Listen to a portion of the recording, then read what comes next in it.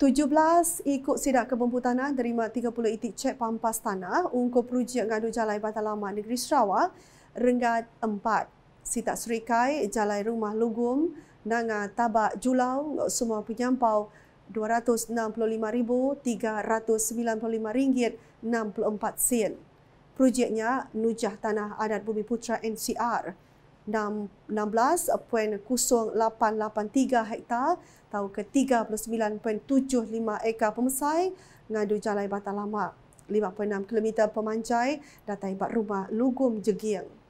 Cik Pampasnya disuak ke Kaban Kusel Negeri Adun Meluan, Roland Duat Jubin hari satu tu tadi.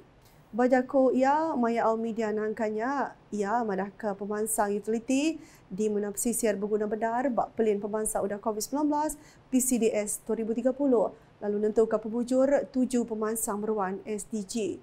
Ku ia pemansang pemansang bakar air bersih akaran jalan ngau servis telekomunikasi oleh merangsang penumbuh ekonomi rakyat.